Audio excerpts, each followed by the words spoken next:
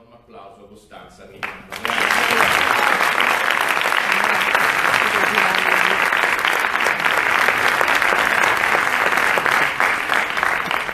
Sicuramente non è esatto dire che abbiamo, io che ho deciso, cioè è lui che ha deciso. Ha detto che fai il 14 ottobre? No, veramente sono a Desenzano. Vabbè, a che ora parti? Preso- Quindi insomma, mentre stavo pensando se dire sì o no, aveva preso il biglietto e quindi era molto prima dell'alba, comunque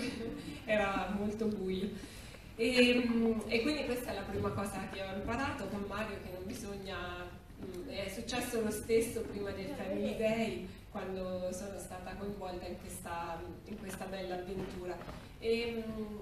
però ecco appunto ho detto un sì incauto e poi mi sono trovata in questa cosa molto più grande di me. Sono contenta però di aver partecipato e ho cercato di, di capire come mai mm, mi sono trovata in, in- in questa cosa, anche rileggendo il libro eh, di Mario, no? che mm, ha elencato le, le grandi bugie sul gender. Io in realtà avevo scritto dei libri in cui eh, descrivevo la fatica di funzionare insieme, maschi e femmine, e, mm, e mi sembrava in realtà un fatto scontato il fatto che, che siamo diversi. E, mm, per esempio, mm, pensavo le differenze, cioè sono talmente tante che non riesco neanche a elencarle. Poco fa stavo dicendo a Mario le sfumature del verde, ho visto il panico nei suoi occhi perché per un uomo esiste, per me il verde è verde, no? per lui esiste no. Quello- questo è verde erba, poi c'è verde menta, verde salvia, verde eh, petrolio, pisello, turchese, cioè mi guardava come se stessi parlando di fisica quantistica. Ecco, cioè, per- non lo so, ci sono talmente tante differenze tra maschi e femmine che io sperimento, come credo tutti noi, eh, tutti i giorni, pensavo quante, eh, quanti padri ci sono nei gruppi WhatsApp su- per il regalo alle maestre. Credo, cioè,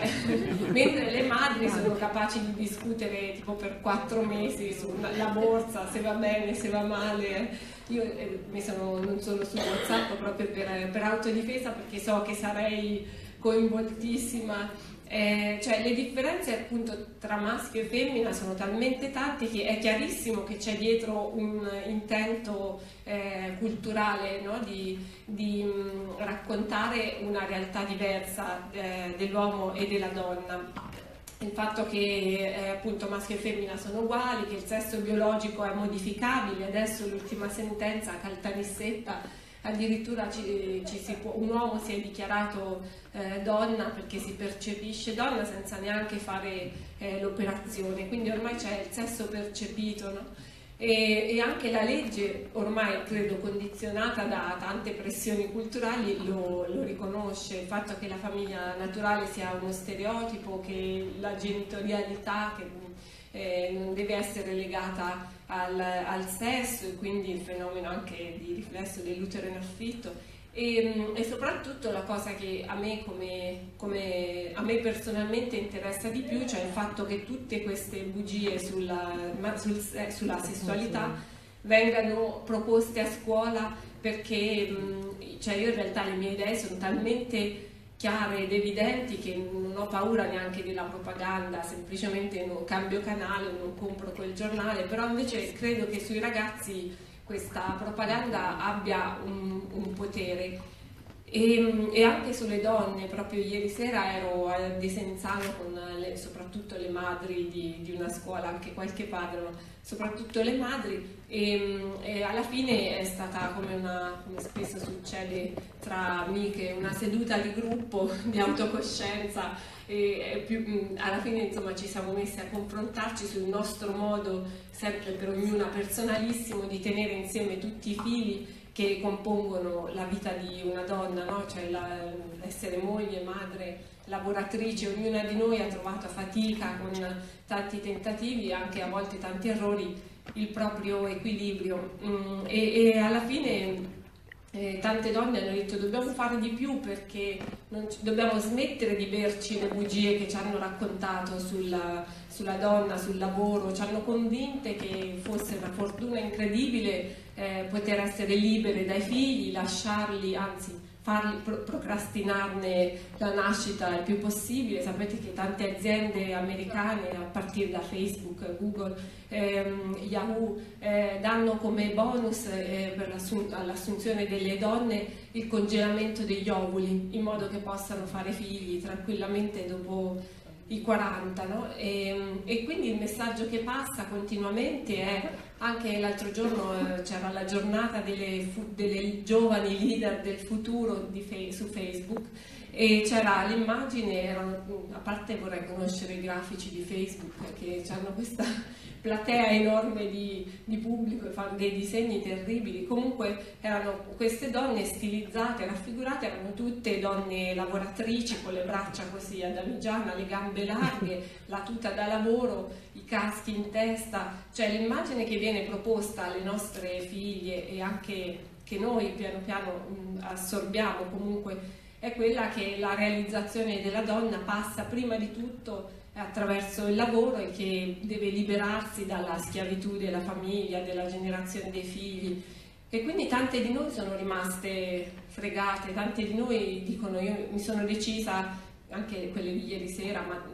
migliaia ormai in tutta Italia con cui mi sono confrontata, io mi sono decisa a chiedere il part time quando i miei figli ormai erano grandi, mi sono persa un sacco di cose della loro infanzia. E, ehm,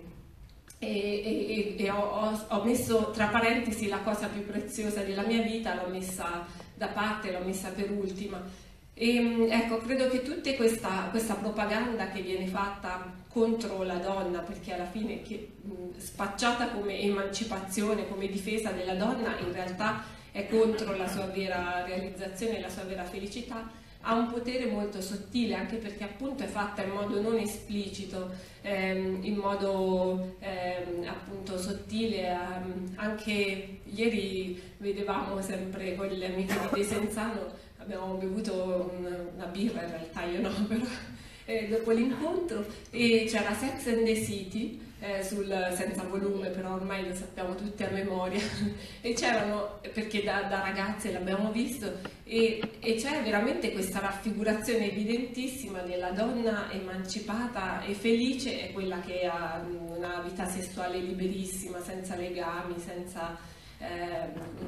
conseguenze, eh, senza nessun tipo di impegno e quelle che vengono invece raffigurate come c'era vicino a loro in una scena una suora con una faccia da bacchettona tremenda, antipaticissima, tristissima e quello è un messaggio potente che passa più di mille catechesi che noi possiamo fare magari in chiesa o nei parrocchi. Eh, secondo me ecco, è importante non mollare in questo lavoro veramente capillare fatto eh, porta a porta di contatti, di relazioni, anche di incontri come questo, perché è importante dire alle donne abbiate il coraggio di ascoltare quello che veramente eh, provate, cioè di non negare questa parte di voi che questo non vuol dire che ovviamente che tutte le donne debbano stare in, in cucina a caricare la lavastoviglie, anche perché mio marito la carica sicuramente meglio di me, c'è una lunga diatriba da anni su come si mettono le padelle, insomma, però no, cioè, non è questo certo il punto che ci definisce, sicuramente non è chi pulisce o chi fa cosa in casa, ma eh, cioè, avere l'orgoglio di ehm, di dire quello che è veramente importante per noi senza farci condizionare. Il mondo del lavoro ci dice che è importante eh, essere sempre più libere, avere i, gli asili nido aziendali, per esempio. Ogni volta che si parla di lavoro in televisione si parla di eh, quote rosa che credo riguardino lo 0,1% della, delle lavoratrici e di asili nido aziendali, cioè di come lasciare il più presto possibile dei bambini minuscoli per andare magari a, a soddisfare le richieste di un, capo, di, un, di un, capo, perché dipendere da un marito è la cosa più brutta del mondo, invece dipendere da un capo eh, ce, ce la spacciano come fortuna. E, e quindi è, secondo me è importante questo libro che, che, che insomma, ragiona, riflette anche su questi, su questi temi, sulle bugie che ci dicono e che che le danno per scontate e per acquisite, ma noi credo che con l'esperienza di questi, questi, incontri sul gender nelle parrocchie poi i due Family Day abbiamo provato a essere il sassolino che, che inceppa questa macchina da guerra della propaganda. E, mm, la propaganda però funziona perché, come ricorda Mario, cioè la, la, denatalità è sempre più eh, incalzante, tutti, quasi tutti i leader europei sono senza figli, compresi i nostri italiani, e questo sicuramente non è un caso, il fatto che la famiglia non sia una priorità ehm, è, evidentissimo, lo sappiamo tutti che ci sono famiglie che si separano perché conviene fiscalmente, conviene da tutti i punti di vista e, ehm, e la famiglia non, è, non solo non è aiutata ma anzi è vessata sempre più. Poi un altro tema non trascurabile è quello dell'aborto che è veramente, non so, ci sarebbe da parlare per ore, però una cosa che non sapevo nel libro di Mario ehm, eh, c'è un dato che mi ha sconvolto, e cioè che è vero che gli aborti sono leggermente calati, siamo intorno ai 100.000, ma comunque perché è anche diminuita la popolazione femminile in età fertile, ma ogni anno si vendono 600.000 scatole di pillole di emergenza, cioè dei, del giorno dopo, dei 5 giorni dopo no, e che è un numero sconvolgente. Ah, e, e è stato tolto l'obbligo di ricetta, per cui è diventato un farmaco da banco, per cui si può andare tranquillamente in una farmacia senza neanche l'imbarazzo di dover chiedere una ricetta, di dover, cioè hanno proprio tolto tutti gli ostacoli, ehm, anzi cioè, viene favorita e incoraggiata questa cosa, poi tra l'altro cioè non ultimo, forse insomma, cioè, rispetto al fatto che si uccide un bambino non è niente, ma comunque per una donna è una bomba di veleno eh, incredibile, una, una, pillola abortiva. E un altro tema allucinante è quello dello sterminio dei Down. E, mm, in Italia forse ancora, mm, non so, rispetto a questa infelice graduatoria siamo leggermente sotto, anche se comunque anche a noi, io quando avevo 27 anni aspettavo il primo figlio, mi hanno dato per scontato che avrei fatto la mia centesi, come cioè, viene consigliata normalmente come prassi ormai, proprio cioè, al 100% ti dicono allora quando vuole fare la mia centesi, anche qua nelle età, nelle fasce anche più giovani della mia o anche a 27 anni, appunto quando il rischio che il bambino abbia malformazioni genetiche sia è inferiore a quello che muoia durante l'esame perché eh, l'esame è comunque invasivo e pericoloso, però si preferisce rischiare che il bambino muoia piuttosto che far nascere un bambino malato. Ehm, e eh, sapete che in Francia è stato addirittura proibita la diffusione di quel video eh, di Our Future Mom che eh, faceva vedere dei bambini down che dicevano mamma guarda anche se sono down io posso essere felice e questo video è stato proibito perché è ritenuto offensivo della sensibilità delle madri che avevano abortito, quindi eh, cioè, si può abortire ma non si può ricordare alle madri di averlo fatto e magari di aver ucciso un bambino vero eh, che poteva essere mh, mm, felice. E, e infine vabbè, la, la, grande, eh,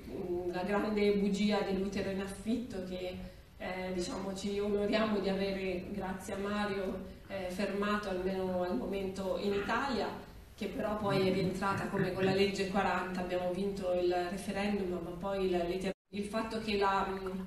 venga opposto alla nostra resistenza all'utero in affitto l'argomento emotivo, no? Cioè noi siamo quelli cattivi che vogliamo separare eh, i bambini da, da questi compratori. Eh, io non lo so, penso che la soluzione, come dissi alla 7 quando mi intervistarono, che è l'episodio che anche Mario ricorda, ehm, di rendere obbligatoria la frequenza, cioè il legame con queste madri non può essere,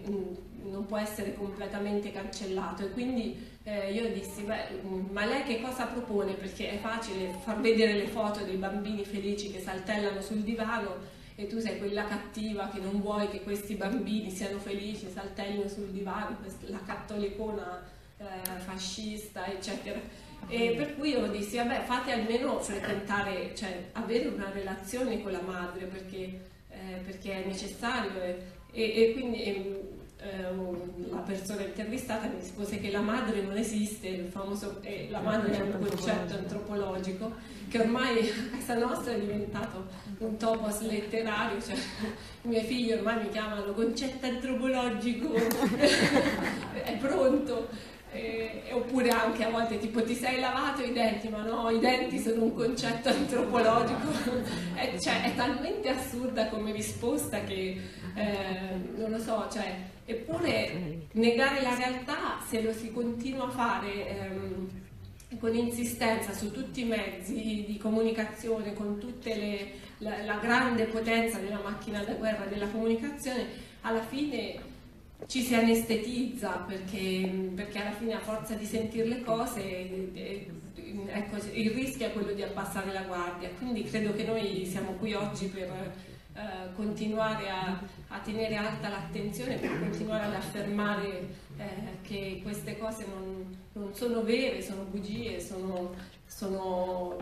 sono, false, come ha detto anche il Papa recentemente, eh, l'utopia del neutro, anche se forse utopia